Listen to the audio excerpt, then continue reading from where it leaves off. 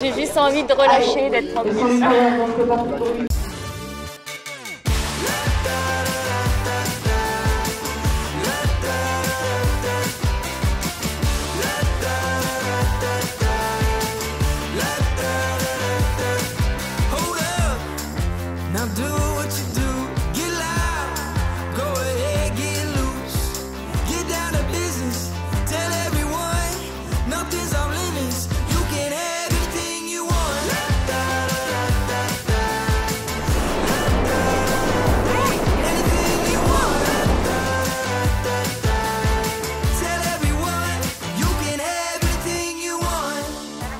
Allez, salut la team, on se retrouve dans cette nouvelle vidéo. Une vidéo sur laquelle je suis un peu nostalgique puisqu'il s'agit de ma dernière compétition FFC route.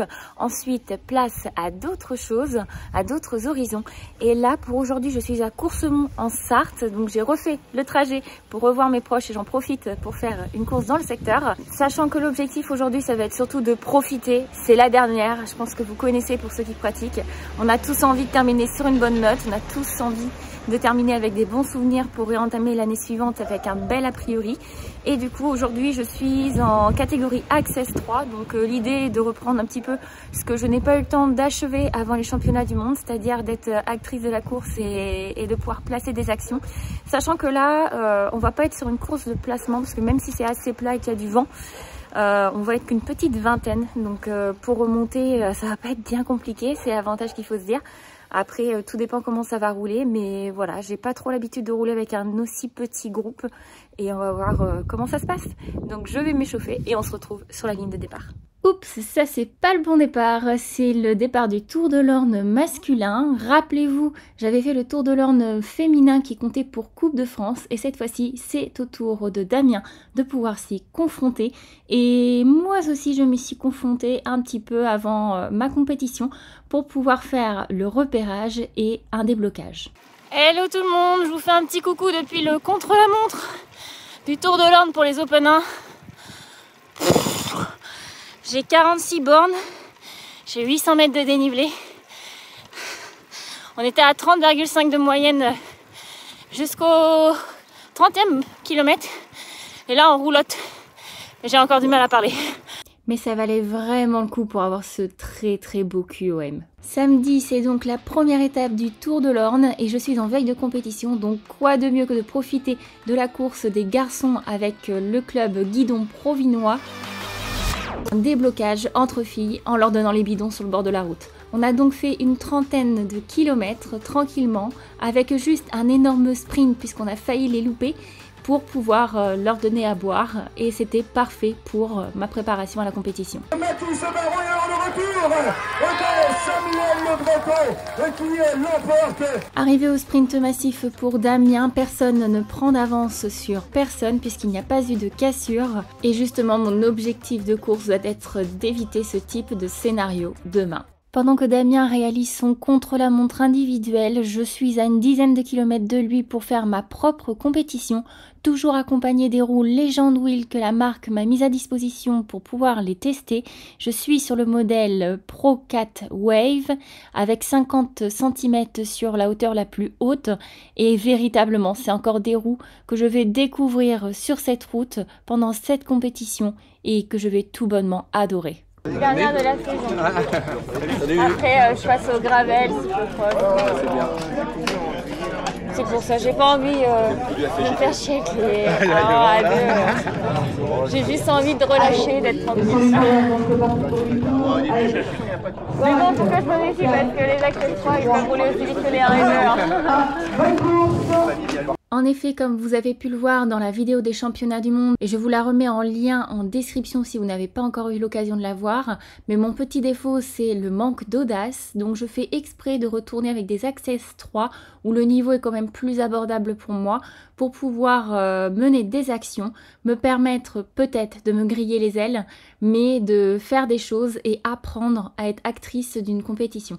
Donc j'ai pas eu le temps d'acquérir parfaitement cette compétence pour les championnats du monde cette année, mais je prépare déjà l'année 2025 puisque je compte bien retourner faire les championnats du monde une nouvelle fois, cette fois-ci en Australie, et je compte m'améliorer d'ici là pour faire une encore plus belle place. Et comme on a pu le voir tout au long de l'année, ce n'est pas la condition physique qui me manque, mais plutôt l'audace et la stratégie de course. Donc le mot d'ordre aujourd'hui est de se faire plaisir puisque c'est la dernière course et essayer d'en mettre partout.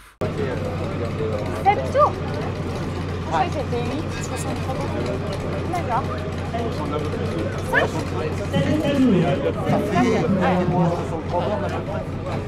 Et oui, Gwen, forcément, quand tu t'amuses à faire pas mal de courses en grand fond d'eau pour euh, à peu près 150 km, ça te fait tout de suite tout drôle de revenir sur des courses d'une soixantaine de kilomètres.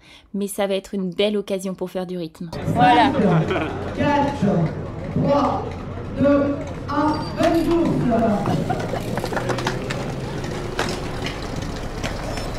Allez, c'est parti pour cette dernière course de la saison. Une course une nouvelle fois relativement plate, un tout petit peu moins plate quand même que ce que j'ai pu connaître, puisque là vous voyez qu'on entame un tout petit faux plat montant.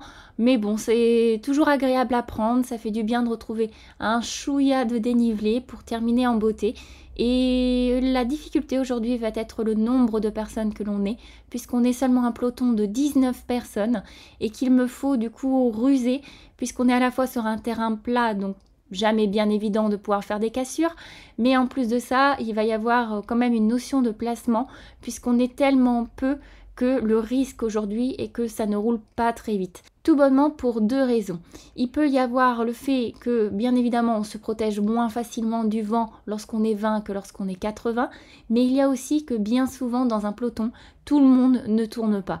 Et là, aujourd'hui, on pourra avoir ce gros souci où on a une partie qui décide de se mettre à l'abri pour un sprint final et l'autre partie qui essaie de faire avancer le groupe.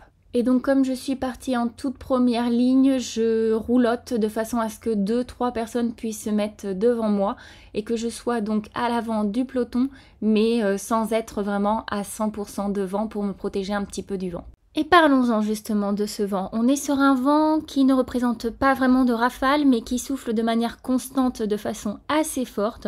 On est en pleine, donc on n'a pas vraiment la possibilité de se mettre à l'abri. Et du coup, globalement, on est sur un vent qui va être trois quarts face sur la première partie du circuit pour ensuite passer sur un vent de dos du fait du demi-tour à Beaufait, pour ensuite avoir un passage de vent latéral gauche lors de la descente sur la route étroite et terminer enfin sur un vent de latéral droite pour la ligne d'arrivée. Et donc alors que le tempo est donné par l'un de mes coéquipiers du MSV depuis pratiquement 2,5 km, on a un adversaire de l'UCAD, donc du club d'Alençon d'Amini, qui place une attaque. Et là, je vois que personne n'y va. Donc euh, j'essaie de pas paniquer, mais comme euh, je sais à la fois que c'est un adversaire qui a de l'expérience et qui sait rouler seul assez longtemps, je ne veux pas le laisser filer parce que jusqu'à présent, la course n'a vraiment pas démarré, on a du mal à dépasser les 30 km h de moyenne et sur une bêtise toute bête, on pourrait lui laisser prendre suffisamment de champ et louper la bonne même si ça fait que 2,5 km. Donc je finis par demander aux garçons de s'écarter pour que je puisse y aller. Les gars, si vous n'allez pas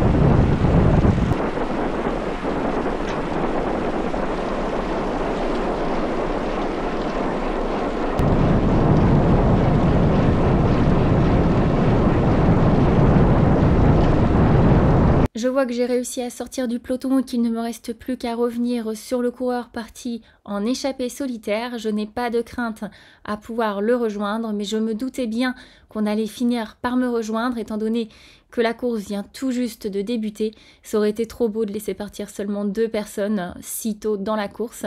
Et ce n'est autre que David Martin qui fait également partie de la team Progress Coaching qui revient sur moi pour pouvoir euh, relancer la course.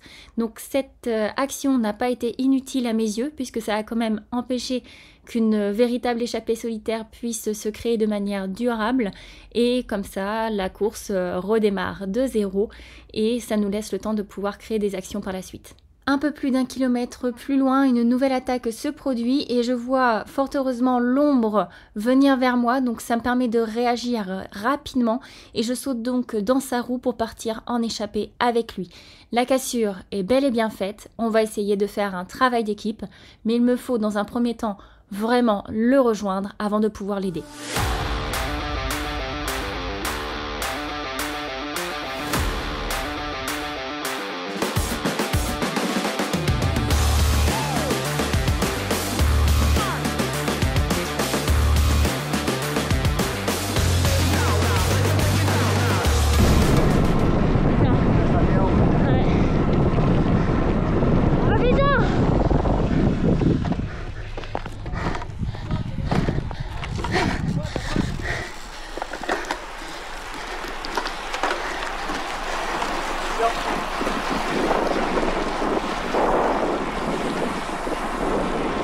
Non, mais sérieusement, celle-là, je crois que je l'avais vraiment jamais faite. Faut quand même y aller. Après, pour ma défense, il n'y avait pas de signaleur et il n'y avait pas de panneau non plus pour indiquer qu'il fallait tourner.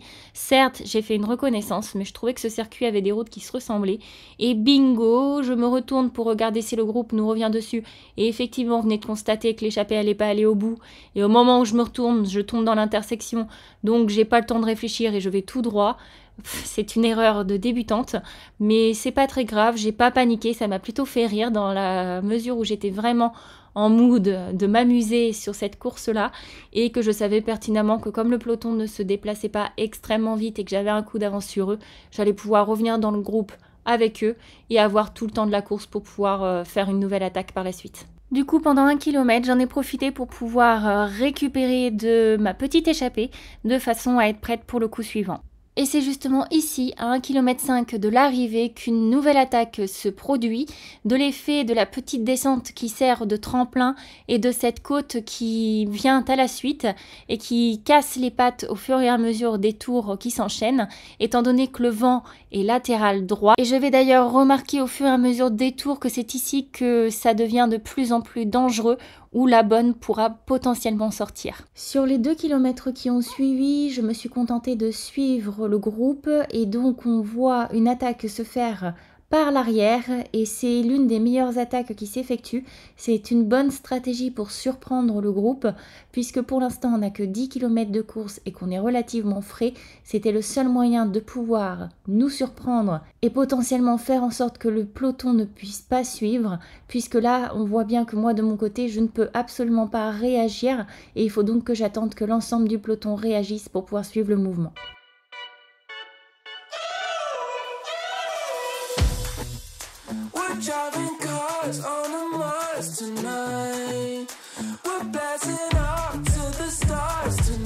Alors que le peloton a roulé à quasiment 50 km h avec un vent 3 quarts face, ça y est, on arrive à un moment où la boule se reforme, mais le mouvement continue.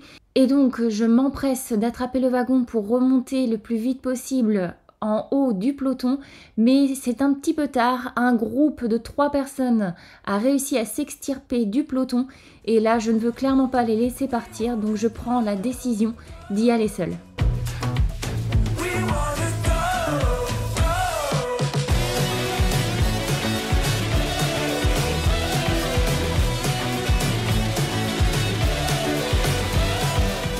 J'ai réussi à revenir sur ce groupe qui était parti en échappée. C'était en réalité quatre, mais malheureusement, lorsque je les ai rejoints, je me suis rapidement rendu compte en me retournant que le peloton était à mes trousses et que du coup, ça servait à rien d'insister qu'ils étaient en train de revenir sur nous.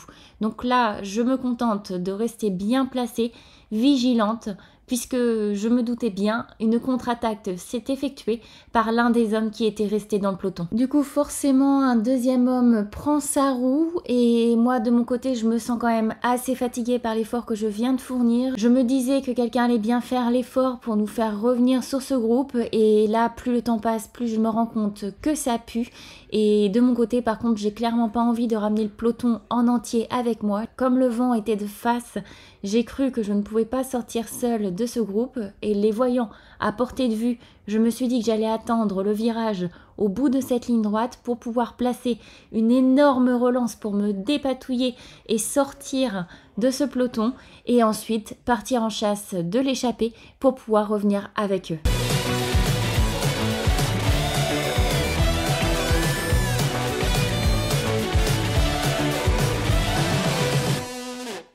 Je suis maintenant sur une portion vent de dos et j'ai David de chez Progress Coaching qui m'a rejoint dans ce contre. Ça m'arrange bien, je suis heureuse de voir que nous sommes deux puis trois pour tenter de rejoindre l'échappée et je me suis appliquée à placer mon attaque à un moment donné où le vent était de face pour décourager ceux qui ne souhaitaient pas dépenser d'énergie, pour ensuite remettre une couche sur la petite portion où le vent était latéral, et ensuite pouvoir prendre du champ sur la portion où j'étais vent de dos. Je pense que j'ai utilisé la bonne technique pour ça et que je le reproduirai par la suite.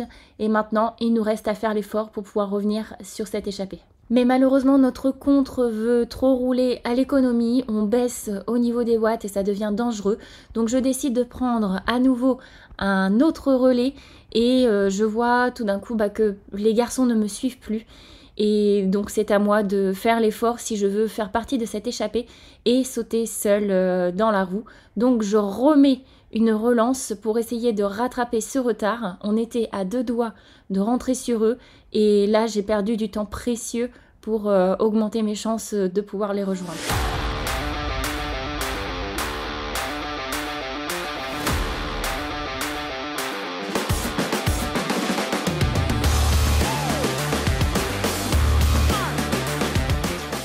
Le fait d'être sur une route étroite avec des virages et un espace vert tout autour me permet d'élaborer une stratégie me permettant de prendre un maximum d'avance sur le peloton et de faire en sorte qu'ils ne puissent pas me voir à la sortie de leur virage de façon à les décourager.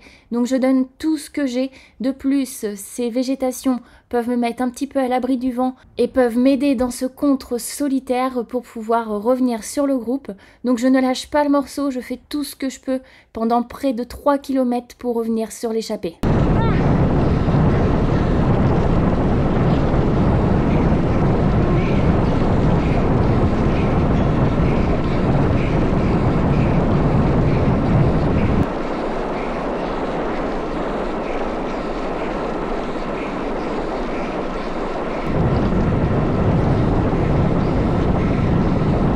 Et voilà, malheureusement pour la deuxième fois, mon échappée ou mon contre est mise en péril au même endroit, c'est-à-dire qu'il est assez facile de pouvoir sortir au début de cette portion où on est vent de dos. Par contre, avec la présence de la petite descente qu'il y a avec le vent latéral gauche, ça fait que les personnes accélèrent dans le peloton et qui peuvent revenir assez facilement sur nous. Donc là, il faut que je commence à réfléchir à comment est-ce que je vais pouvoir sortir de ce groupe. Et alors que je me laisse reprendre par le peloton, je me rends compte que la personne qui a ramené le peloton sur moi n'est autre que mon coéquipier de MSV. Donc j'ai, il me semble, jamais couru avec cet homme. Et pour ma dernière course sur le secteur, je pense que je ne vais pas pouvoir compter sur lui dans la mesure où il a ramené un peloton tout entier sur moi alors que j'étais en chasse depuis plus de 6 minutes sur une échappée. Du coup, désormais, je sais à quoi m'en tenir, mais c'est pas bien grave, je prépare le coup suivant et je profite de ce moment de répit pour pouvoir recharger les batteries afin de pouvoir redégager beaucoup d'énergie par la suite. Et comme vous avez été très nombreux à vous abonner à la chaîne ces derniers temps, je vous rappelle que les gels qui m'accompagnent tout au long de mes compétitions sont les gels de Maxwell, des gels qui sont fabriqués en France de façon artisanale et qui sont très respectueuses de l'organisme étant donné qu'ils sont composés à base d'eau et ils sont très efficaces avec leurs 45 grammes de glucides. Je vous assure que ces gels-là, pour en avoir pris 14 pendant l'étape du tour, ne procurent absolument aucun maux de ventre et pour autant j'ai été en pleine forme de consommer exclusivement ce type de gel étant donné que je ne peux pas mâcher sur le vélo. Donc c'est vraiment une solution idéale pour moi et en plus de ça j'ai réussi à obtenir un code promo pour vous qui vous permet de faire des économies et qui rend les gels très abordables avec Cyclist Actu 10 si vous souhaitez avoir 10% de réduction sur un test de gel et si vous commandez au moins 20 gels vous pourrez profiter d'une réduction plus importante de 15% avec Cyclist Actu 15. Du coup, retour dans la course et me voilà derrière mon coéquipier de MSV et du coup je décide de ne pas prendre de relais tant qu'il est devant et cela va durer pendant 3 km, 3 km où on est vent de dos ou latéral protégé par des bâtiments, donc une portion assez facile pour lui de tenir à l'avant. Et il est quand même bien malin puisqu'il fait en sorte de bien s'écarter lorsque l'on passe vent de face pour m'obliger à reprendre le relais. Mais euh, je ne me fais pas avoir et je continue à rouloter en attendant que d'autres personnes me passent devant. La mission désormais va être de pouvoir sortir pour tenter de reprendre l'échappée, donc ce assez rapidement, et euh, de voir avec qui je peux collaborer pour pouvoir réussir cette mission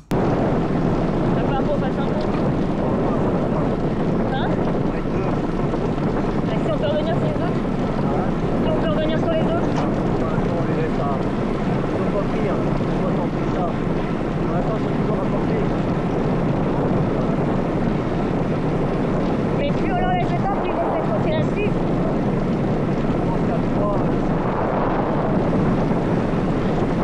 Visiblement, ils ne sont pas deux, mais trois à l'avant, puisqu'au préalable, il y avait un homme qui était parti en échappée solitaire à un moment où j'étais dans le groupe. D'après ce coéquipier qui est juste devant moi, on a le temps, il n'y a pas de stress à avoir du fait d'être euh, trois en échappée. Et euh, moi, ça m'inquiète un petit peu parce que ce passage précis, c'est là où je plaçais mes attaques et où je prenais pas mal d'avance. Et euh, ça n'a pas loupé. À la sortie de ce virage, je me rends compte qu'on ne voit plus du tout l'échappée. Elle a vraiment pris un coup d'avance et là ça va être compliqué et je m'en doutais bien parce que certes ils sont que 3 mais il faut pas oublier qu'on est dans un peloton de 19 personnes et que donc toutes les proportions sont faussées par rapport à nos habitudes. David relance un peu la course en nous proposant de tourner tous ensemble pour revenir sur cette échappée. Je suis tout à fait d'accord avec lui et on va être en tout 5 à rejoindre le mouvement, ce qui est malheureusement trop peu. Le reste du peloton a décidé de ne rien faire. Il y a une dizaine de personnes qui est vraiment à l'arrière de nous 5 à juste profiter du mouvement sans même participer et ça a le nom de m'agacer.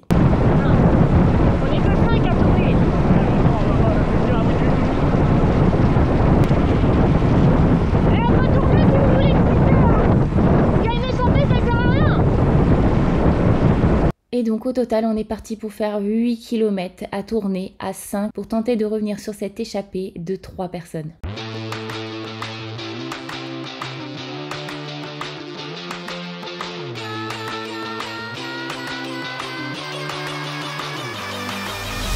Et pendant les 13 km à venir, nous sommes toujours les mêmes, ça tournait à l'avant et de temps en temps nous avons une attaque qui nous vient de par l'arrière. Et dans ces cas-là, je suis tellement sur les nerfs, tellement énervée de voir que certains peuvent se contenter de ne rien faire pendant la course et de placer une attaque et de prétendre pouvoir nous semer de la sorte que j'ai toute l'énergie nécessaire pour pouvoir toujours en remettre davantage et remettre justice au cœur du sujet en ne lâchant pas prise et en faisant tout pour pouvoir faire partie d'un contre. Et malheureusement, on est un peu contraint de continuer à rouler tous les 5, étant donné que si on arrête de rouler, on descend à des vitesses telles que 27 km/h de moyenne, euh, tellement personne n'a envie de pouvoir prendre des relais.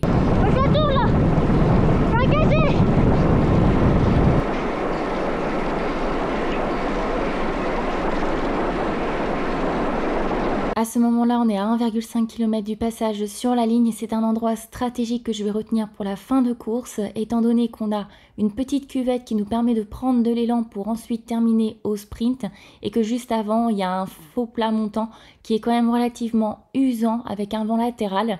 Et je pense que c'est à ce moment-là qu'on va pouvoir élaborer quelque chose pour pouvoir euh, faire la différence et se débarrasser de ce peloton qui ne roule pas et qui pour autant dès lors qu'on place une attaque arrive à nous suivre étant donné qu'ils sont bien frais.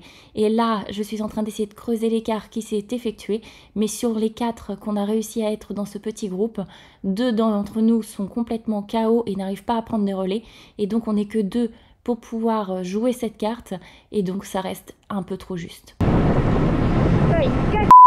Du coup, je suis un peu gavée et je pousse les choses à l'extrême avec euh, d'autres coéquipiers actifs et on décide de lever le pied et de voir comment ça réagit.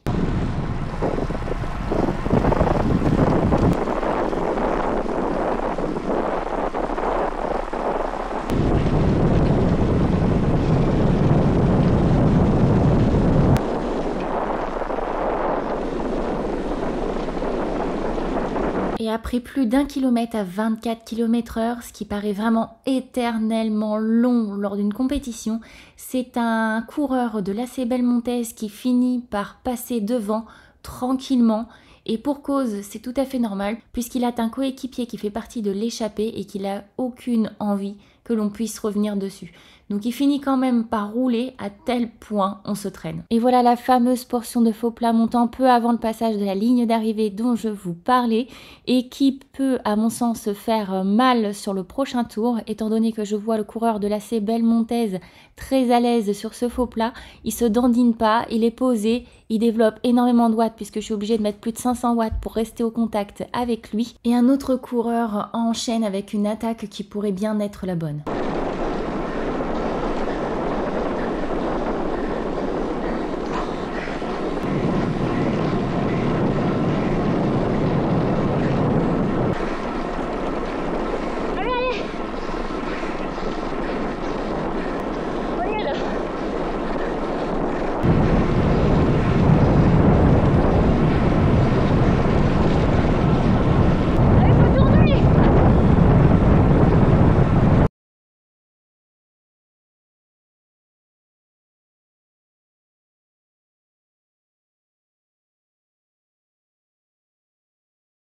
On est visiblement 5 à être très agacés de la tournure de cette course et on va donc comploter ensemble un petit plan pour pouvoir attaquer au même endroit sur le prochain tour en se coordinant tous. Essayer. Ouais. Ouais, là, là, je vais On va continuer à le refaire ici. Ouais, c'est fort, donc il faut faire longtemps. Donc on en met une Ouais, mais faut que, tu, faut que tu fasses comme t'as fait là. De toute façon, on va pas revenir dessus. C'est juste pour faire un tour. C'est juste pour faire un tour. Il y en a plein sur le plan d'agage où il y a une 45. C'est pour ça. T'en mets une euh, dans la zone que tu sais bien faire. Et puis nous, on t'accompagne et puis comme ça, on on va en mettre une au fond, comme ça. Le je pensais pouvoir me reposer, sauf que j'ai oublié de prévenir une personne et ça n'a pas loupé, l'attaque s'est produite. Je vais donc immédiatement le chercher, soit pour faire un contre directement avec lui, soit pour le prévenir de notre stratégie.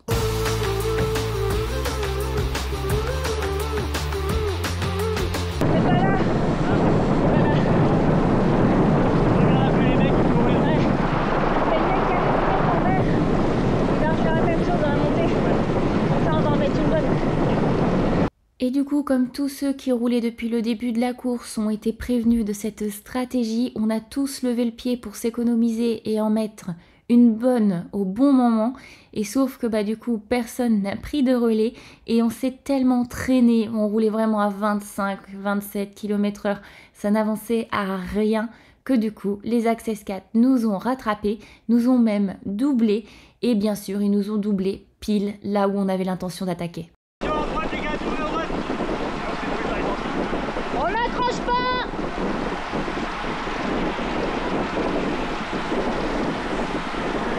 Francis, attention là-bas, Francis. Francis Francis Putain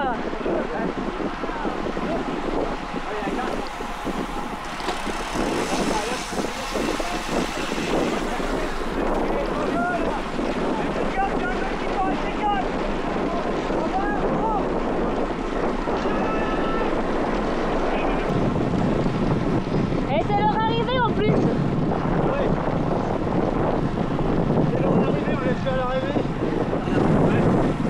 Les gars Allez, sur l'arrivée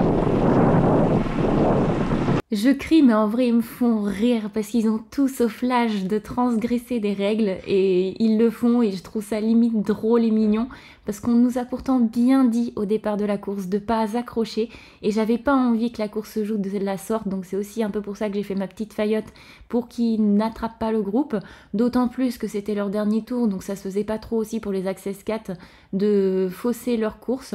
Donc là au moins, les choses sont faites de la meilleure façon possible. Les cartes sont toujours les mêmes qu'avant qu'ils nous doublent. Et c'est à nous de faire l'effort de pouvoir nous dépatouiller. Mais on est à l'aube du dernier tour et on est là où on aurait voulu faire une action. Donc je ne sais plus trop comment est-ce qu'on va faire en dehors d'un sprint final. Ça se regarde, ça se regarde et j'avoue que moi de mon côté je n'ai plus l'initiative de pouvoir partir l'attaque même si je sais que je n'aurai pas l'étoffe pour pouvoir faire un beau sprint en vue du nombre de personnes qui n'ont pas mené d'action pendant toute la course. Mais dès que je vois des collègues lancer une attaque, je profite du mouvement pour les accompagner, pour essayer de créer un contre, mais sans trop gâcher d'énergie. Et alors que pendant toute la course, certaines personnes se sont fait oublier, on les retrouve dans mon angle mort, et l'attaque ne va pas tarder à se produire, et pour autant, je ne l'aurais pas vu venir.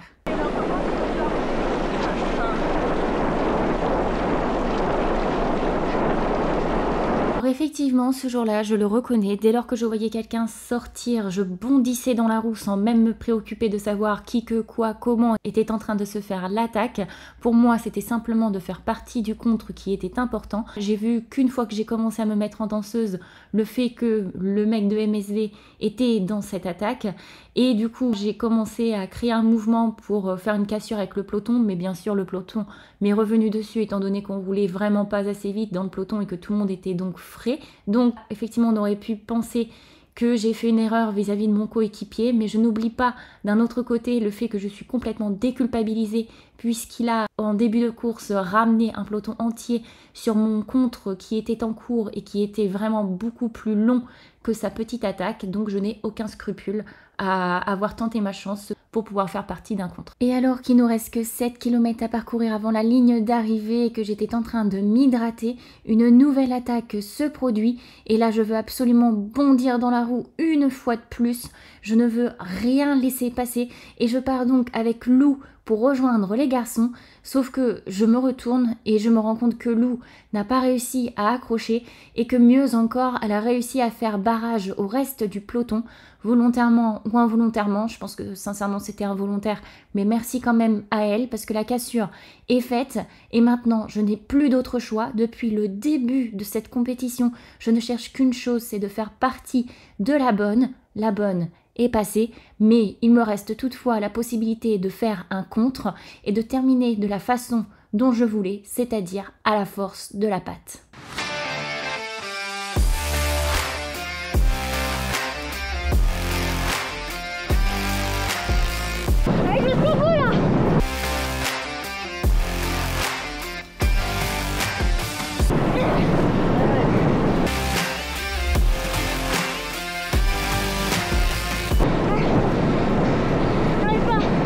Après déjà 2 km d'échappée à tout donner pour creuser l'écart, je sens les premiers signes de faiblesse et l'homme qui est en noir et blanc est extrêmement fort, il a une cadence très basse certes, mais je vous assure qu'il fait vraiment très très mal aux jambes.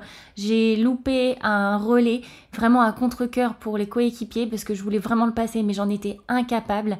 Et par la suite, c'est l'homme de l'AC Belmontaise qui n'a pas pu prendre son relais à son tour.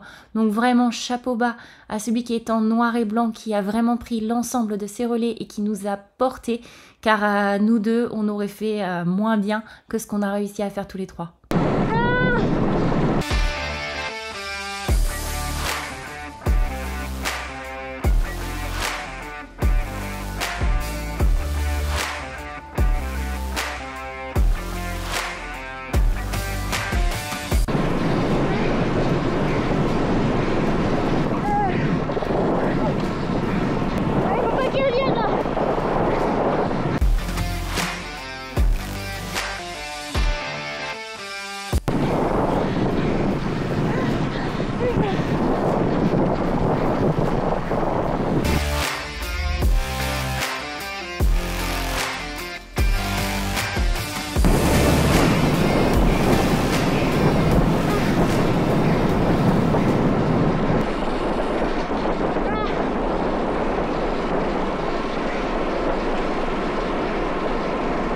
Nous sommes plus qu'à 500 mètres de l'arrivée. Je regarde derrière moi et je vois personne, mais en même temps, je n'ai pas grand champ de vision puisqu'on sort de virage et qu'il y a pas mal de végétation. Et puisque tout au long de la course, nous sommes arrivés vite à chaque fois sur cette partie-là, j'ai peur que le peloton revienne tel un boulet de canon, donc je ne ménage pas mes efforts, tant pis, je préfère assurer une place de sixième plutôt que de vouloir rouler à l'économie pour tenter une place de quatrième et me faire manger par un peloton tout entier. Et donc je suis la dernière à lancer mon sprint, je n'ai plus beaucoup d'énergie et donc je me relève rapidement quand je vois qu'il n'y a ni peloton ni la possibilité de faire mieux que cette sixième place. Et cette sixième place est pas si mal que ça, puisque ce sera ma plus jolie place effectuée avec les hommes Access. Bravo les gars Bravo Ah, vous m'avez mal au je pense que ça s'est vu. Respirer comme une asthmatique. Et bien sûr, plus que cette place de sixième, ce qui me fait réellement plaisir dans cette course, c'est d'avoir su établir des plans, avoir voulu jouer un petit peu plus stratégique et d'avoir réussi enfin à partir dans un contre. J'aurais préféré un échappé, mais un contre, c'est déjà bien. J'ai réussi à me détacher d'un peloton et ça c'est une belle réussite pour terminer une saison et pouvoir aborder de la meilleure façon qui soit la saison 2025. Et donc si on prend le temps d'analyser un petit peu mon effort sur les 8 derniers kilomètres, on se rend compte que pendant près d'un quart d'heure, j'ai été capable de développer 234 watts de moyenne avec une moyenne de 38,19 km/h en étant qu'à 3 et ma fréquence moyenne aura été de 177 battements au cœur pour euh, une fréquence maximum de 184. Sachant que je n'ai pas réalisé de sprint particulier étant donné que j'avais déjà tout donné avant et que vous pouvez voir sur la courbe à droite que avant de partir sur ces 7 km de solitaire, j'ai également placé trois attaques au préalable. Du coup, il est sûr et certain que j'en ai vraiment mille fois trop fait lors de cette course et que j'aurais probablement pu faire encore mieux. Mais l'essentiel, c'est que je me suis réellement amusée pendant cette course. J'ai pris beaucoup de plaisir et il me tarde de rejoindre Damien sur sa compétition cet après-midi pour savoir d'une part comment s'est passé son contre-la-montre individuel et le soutenir sur sa dernière étape du Tour de l'Orne.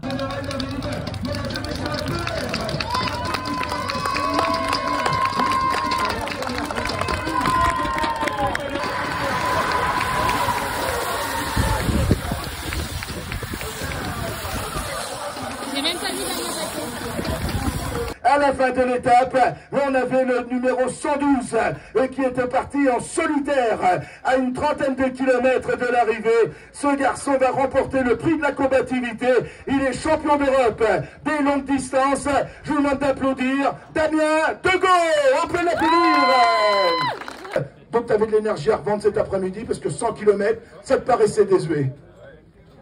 Euh, oui, après euh, l'idée c'était de, de, renverser le général et de voir ce qu'on pouvait faire. Donc euh, de, de, mettre une course usante en attaquant dès le départ, c'était l'objectif. En tout cas, sachez que sur cette chaîne, vous risquez de retrouver beaucoup de vidéos où le prix de la combativité sera mis à l'honneur. Donc n'hésitez pas à vous abonner si c'est pas déjà fait et je vous dis à très bientôt.